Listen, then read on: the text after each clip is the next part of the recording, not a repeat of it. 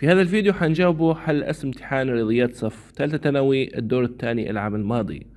فحنقسم الفيديو هذا على حسب الأبواب الموجودة.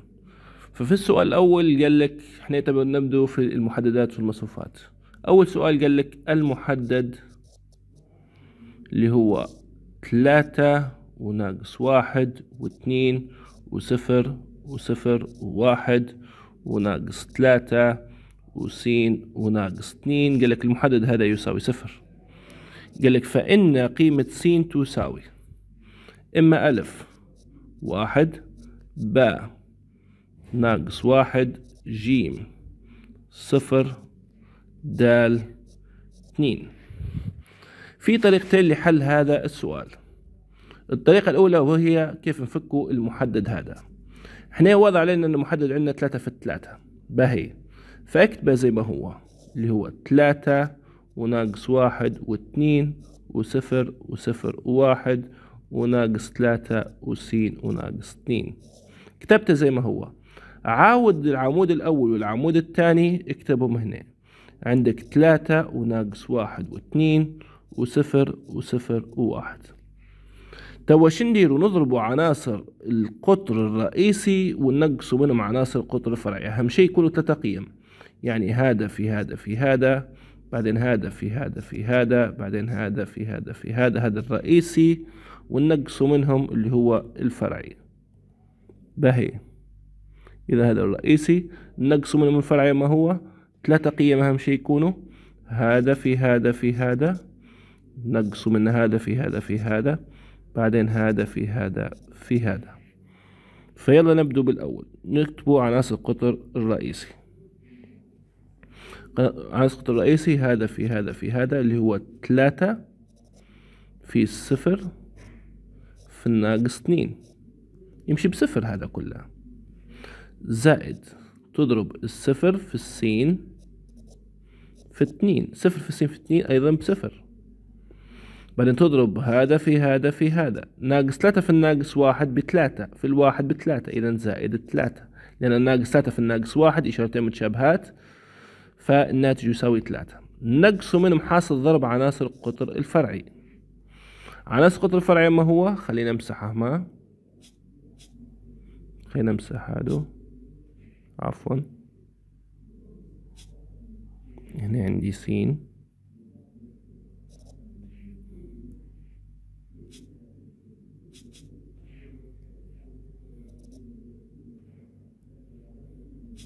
إذا عناصر القطر الفرعي شنو هو؟ تضرب هذا في هذا في هذا ثلاثة في الصفر بصفر في اتنين بصفر. بعدين ثلاثة في السين في الواحد ثلاثة في السين بثلاثة سين إذا ثلاثة سين خلينا نكتبها كويس. ثلاثة سين في الواحد بثلاثة سين بعدين صفر في الناقص واحد في الناقص سين بصفر. معناه هذا هيك. هذا كله شنو يساوي؟ يساوي الطرف الأيسر اللي هو عطيه لك هنا بعد ما فكينا المحدد اللي هو صفر. إذا هذا كله يمشي صفر. يقعد لي ثلاثة ناقص ثلاثة س يساوي صفر. نرفع ثلاثة الطرف الآخر. إذا ناقص ثلاثة س تساوي ناقص ثلاثة. بالقسمة على ناقص ثلاثة للطرفين للتخلص من معامل س تمشي هذه مع هذه. ناقص ثلاثة على ناقص ثلاثة تساوي واحد. إذا س تساوي واحد. فالإجابة الصحيحة هي ألف. با الطريقة الثانية تعالوا أعزائي الطلبة شوفوها. الطريقة الثانية وهي قال لك المحدد هذا ثلاثة وناقص واحد واثنين صفر وصفر وواحد وناقص ثلاثة والسين وناقص اثنين يساوي صفر. لاحظ إن عناصر لاحظ إن عناصر العمود الأول يساوي عكس إشارة العمود الثالث. لاحظ أن العمود الأول يساوي عكس إشارة العمود الثالث لأن هنا عندك ثلاثة وهنا ناقص ثلاثة وهنا عندك اثنين وهنا عندك ناقص اثنين. فهي بما أن هذه ثلاثة وهذه ناقص ثلاثة وهذه اثنين وهذه ناقص اثنين إذا شنو تساوي؟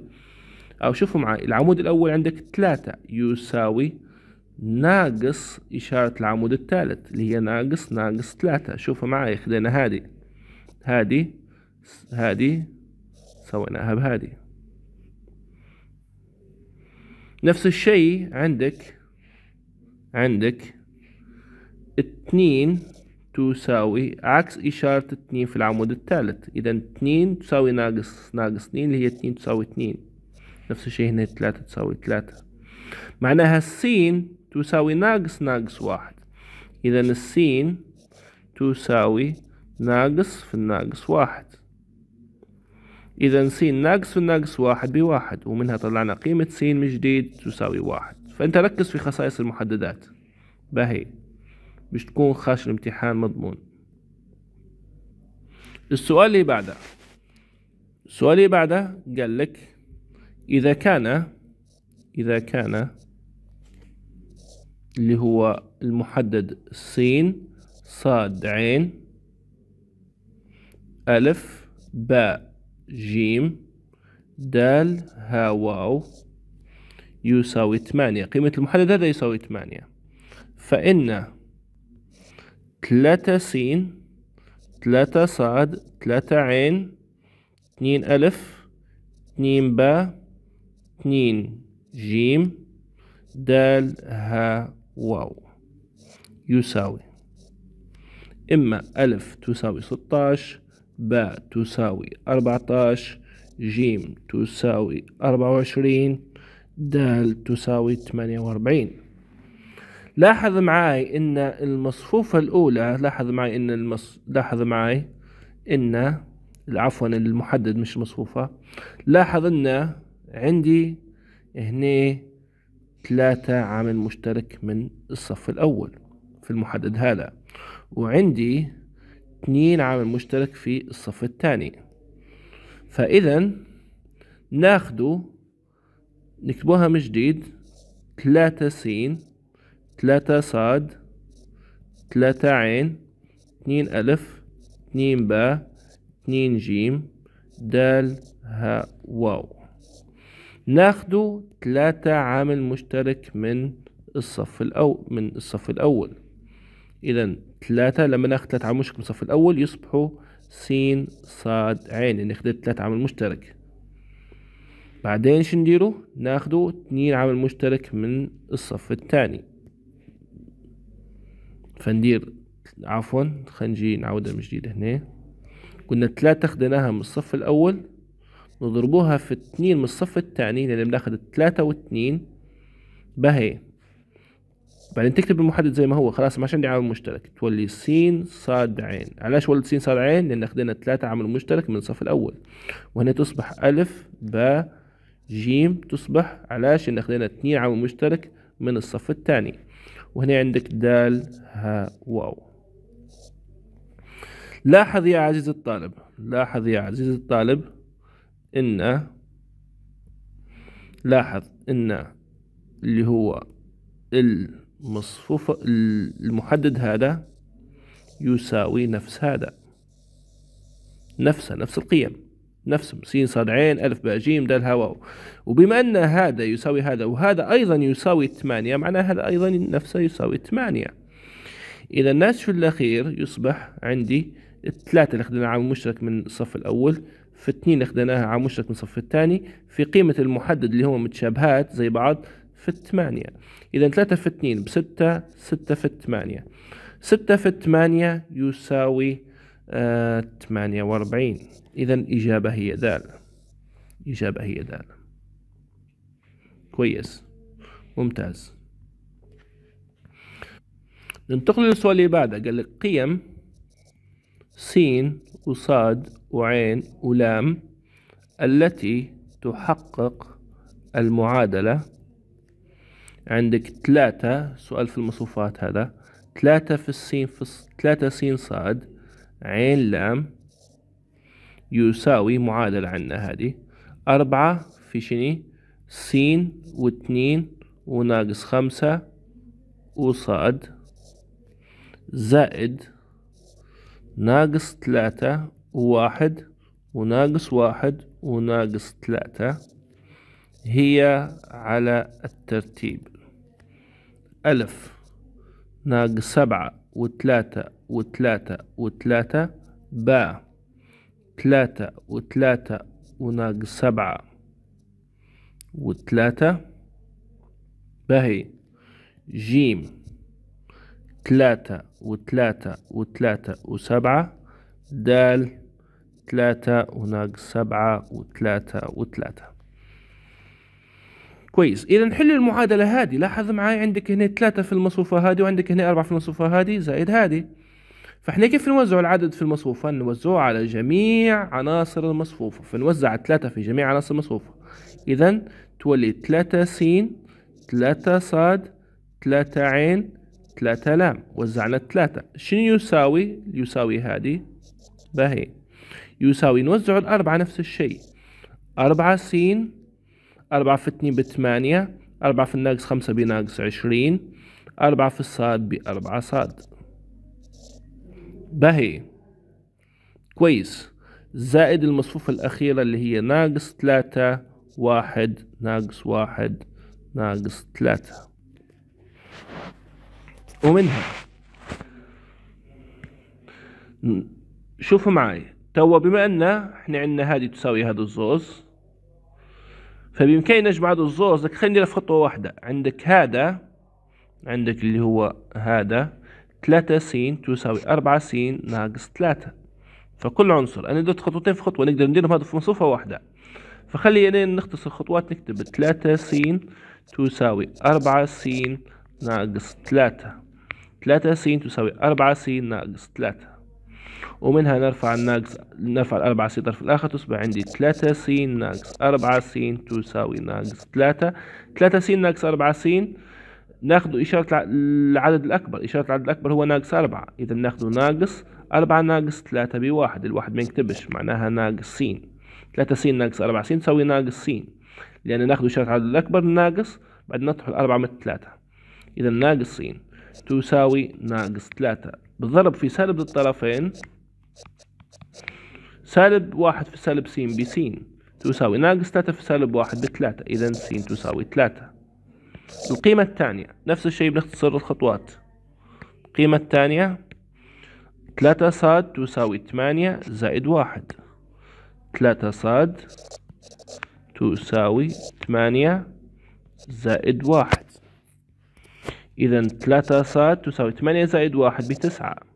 بالقسمة على ثلاثة للطرفين تصبح عندي الصاد تساوي ثلاثة. الصاد تساوي ثلاثة. نمشي اللي بعدها. اللي هي اللي هي عين آه مش هذه عفوا. ثلاثة عين تساوي ناقص عشرين ناقص واحد. إذا ثلاثة عين تساوي ناقص عش... ناقص عشرين ناقص واحد. ثلاثة عين تساوي ناقص عشرين ناقص واحد بناقص واحد وعشرين. بالقسمة على ثلاثة للطرفين تمشي هذه مع هذه. إذا عين تساوي ناقص عشرين على واحد بناقص سبعة. كويس. آخر واحدة فيهم اللي هي ثلاثة لام تساوي أربعة صاد ناقص ثلاثة إذا تلا إذا ثلاثة لام تساوي أربعة صاد ناقص ثلاثة. إحنا صاد طلعناها بتساوي ثلاثة هي صاد طلعناها بتساوي ثلاثة. عوض بقيمتها. إذا ثلاثة لام تساوي أربعة في قيمة صاد اللي هي ثلاثة ناقص ثلاثة. إذا ثلاثة لام تساوي أربعة في ثلاثة باثناش ناقص ثلاثة. إذا ثلاثة لام تساوي اثناش ناقص ثلاثة بتسعة. بالقسمة على ثلاثة للطرفين تمشي ثلاثة مع ثلاثة على ثلاثة في ايدنا واحد على ثلاثة في ايدنا ثلاثة. إذا لام تساوي ثلاثة. إذا قيم س وصاد وعين ولام بهي بالترتيب شنو يساوي؟ السين طلعناها بثلاثة والصاد طلعناها بثلاثة. بالترتيب على التوالي ثلاثة وثلاثة سين صاد عين لام سين صاد عين لام إذا ثلاثة وثلاثة وناقص سبعة واللام اللي هي ثلاثة هل هي ألف؟ غلط لأن هنا عندك ناقص سبعة الأولى هل هي جيم؟ ثلاثة ثلاثة هنا عندك ناقص سبعة هذه لا هل هي دال؟ ثلاثة وناقص سبعة لا هل هي باء؟ ثلاثة وثلاثة وناقص سبعة وثلاثة إذا الإجابة الصحيحة هي باء وهذا هو إجابة السؤال السؤال اللي بعده قال لك سين قال إذا كان إذا كانت س تساوي ألف باء جيم اتنين دال. خلينا نكبرها شوية. إذا كان س تساوي هيك وكانت س تساوي مصفوفة الوحدة من الدرجة الثانية. آي 2 معناها مصفوفة الوحدة من الدرجة الثانية. قالك فإن فإن ألف زائد باء زائد جيم زائد دال تساوي. إما ألف ثلاثة باء واحد ونص جيم اثنين دال واحد. كويس. لاحظ معي إن س تساوي مصفوفة الوحدة من الدرجة الثانية اذا س تساوي مصفوفة الوحدة من الدرجة الثانية عبارة عن شنو؟ واحد وصفر وصفر وواحد هذه هي مصفوفة الوحدة من الدرجة الثانية. هذه هي آي اثنين. هي واحد وصفر صفر وواحد فعوض بدل قيمة السين هي عوض بدل قيمة سين هي عوض بدلها وين؟ تعوضها بدل السين هنا. إذا عوض بقيمتها واحد وصفر وصفر وواحد شنو يساوي؟ يساوي الطرف الأيسر اللي هو ألف باء جيم اثنين دال. ومنها ركز معي ألف تساوي واحد. ألف تساوي واحد. باء هي باء شنو تساوي؟ الباء تساوي صفر. الباء تساوي صفر. باء جيم شنو تساوي؟ جيم تساوي صفر. جيم تساوي صفر. والدال ش... والاتنين دال شنو تساوي؟ اتنين دال. اتنين دال. اتنين دال. تساوي واحد. إذا اتنين دال تساوي واحد. تساوي كل عناصر من المصفوفة هنا في العناصر اللي تنظرها. باهي. إذا ألف زائد باء زائد جيم زائد دال تساوي عوض بقيمة ألف اللي هي واحد الباء بصفر جيم بصفر. في الدال أو اتنين دال تساوي واحد لابد من عوض بقيمة دال. بما أن اتنين دال تساوي واحد معنى دال شنو تساوي؟ اتنين دال تساوي واحد بالقسم على اتنين الطرفين. إذا دال تساوي نص. عوض بقيمتها هنا إذا نص. إذا ألف زائد باء زائد جيم زائد دال واحد زائد صفر زائد صفر زائد نص. واحد زائد الصفر هو يمشي وصفر هو يمشي إذا واحد زائد نص واحد زائد نص شو يساوي؟ واحد ونص. هل هي ألف أو باء أو جيم دال طبعا الإجابة الصحيحة هي باء. إذا الناتج يساوي؟ واحد ونص. كويس. آخر سؤال عندنا وهو السؤال في المصفوفات والمحددات. آخر سؤال عندنا. قال لك قال لك واحد شنو درت أنا؟ قال لك واحد وسين واثنين وناقص واحد وستة وخمسة. المحورة متاعتها شنو تساوي؟ تساوي واحد ناقص واحد ناقص ثلاثة ستة اثنين صاد.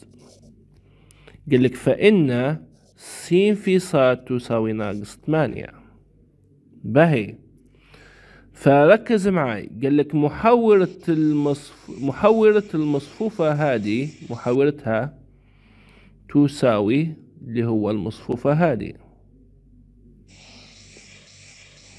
محورة المصفوفة اللي على اليمين تساوي المصفوفة هذه. فخلينا نطلع محورتها محورتها شنو تساوي؟ تقلب الصف عمود. الصف الأول اللي هو واحد وسين واثنين تقلبه عمود واحد سين واثنين.